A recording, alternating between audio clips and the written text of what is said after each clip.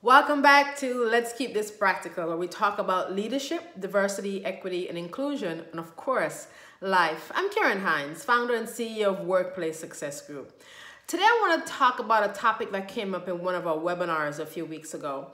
One of the attendees said, in everything that companies are doing now in their back to work strategy, what are they doing for individuals who are not frontline staff but they work throughout the pandemic to support frontline staff. Think about that.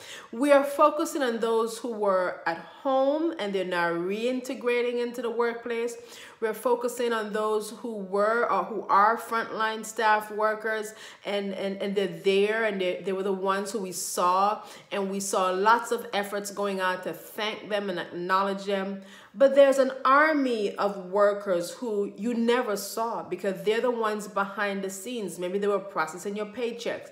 Maybe they were in charge of HR. Maybe they were cleaning. Whatever it is they did, they were not seen and therefore they may not have received any recognition at all.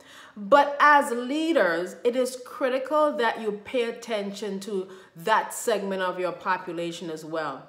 You know they have mental health concerns. They have uh, family concerns and need to consider. They have time concerns. Some may need some time off and, and time to breathe because they've been going for so long. And some are even raising the topic of hazard pay for those who were involved and put themselves at risk. So for leaders it is important that as you reconsider what your workers need don't forget and i'm going to call these the forgotten workforce. They're the ones that because they were behind the scenes, they never were thanked probably or were never recognized. So what are you doing?